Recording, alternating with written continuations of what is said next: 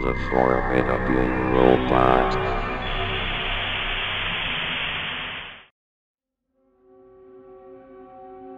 I remember back when I used to play Blockland for days on end.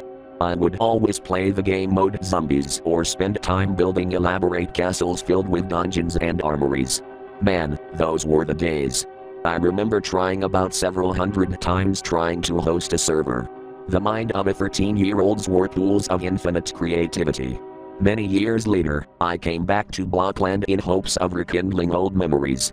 I saw that many of my old friends had default saves built right into the game. Jetpuff's Towers, Sampapa's Fort, Mr. Block's Slides, and even Vertical Horizon had one. I watched as the master server flooded my screen with new servers left and right. Many were role playing servers and others were miscellaneous free builds. One caught my eye though. Private Simon's Render Manhunt. Render Man? What's that? A new game mode or some sort of bot? I thought.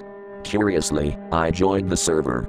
And lo and behold, being as stupid as I could be, I forgot to look at the player count and realized I'd joined an empty dedicated server.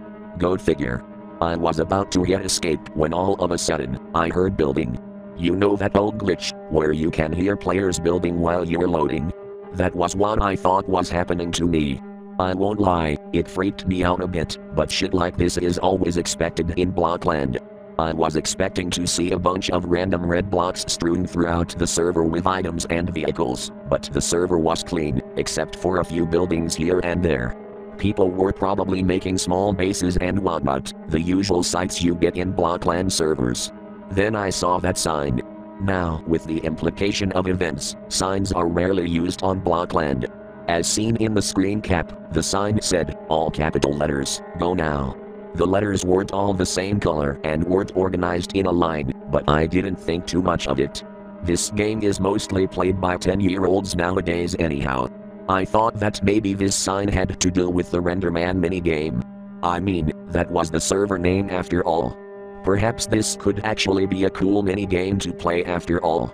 So I was just jetting around alone, inspecting builds and searching for other players when I saw VH's Festen der Squarzing build from the save list.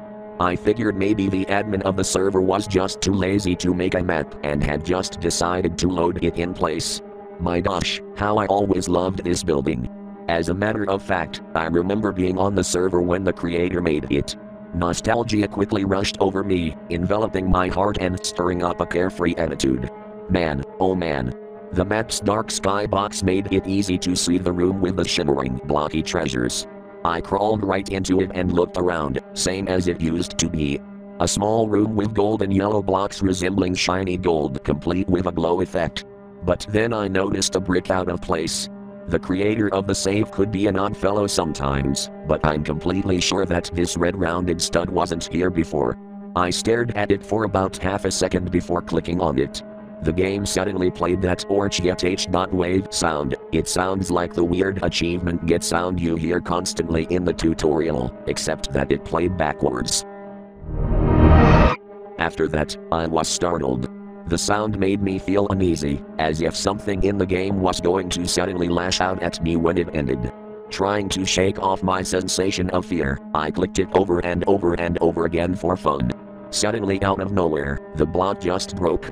It was destroyed right in front of me, and I didn't even delete it or anything.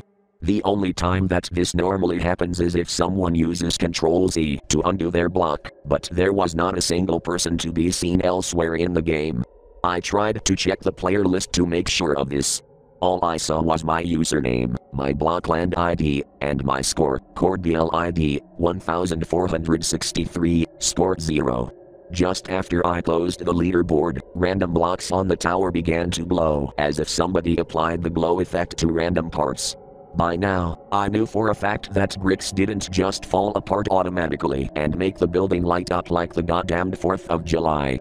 No, there was definitely something or someone else in the game. I decided to take a few more screen caps of the server before continuing my search to figure out what the literal hell was going on. I began to ascend the oddly built structure in hopes of finding the source of this entire thing. I was feeling very creeped out and unnerved at this point. I attempted to pull myself together. I'm getting scared of a sandbox game for crying out loud, I assured myself. As I mentioned earlier, I haven't played Blockland in a long time. I didn't know about trapdoors, and I had to find out the hard way on the server. I walked into one of those dark hallways to find myself somehow transported back to the start of the map. I kept walking around, nothing else in the game but the dark building, and I began to get this eerie feeling. It's that feeling you get late at night when the lights are off, and when you know that you're surrounded by nothing but thick black darkness leaving you vulnerable. I tried climbing up the steps of the tower, which I shortly discovered was a stupid idea. Whoever else was in the game had made them fake kill bricks that emitted sounds that were similar to the endless staircase from Super Mario 64. I didn't feel alone anymore after that. I knew there was someone else in the game. There had to be. Whoever this guy is, he's probably laughing at my attempts to climb the stairs without my jets. What kind of damned fool am I? I typed in the chat.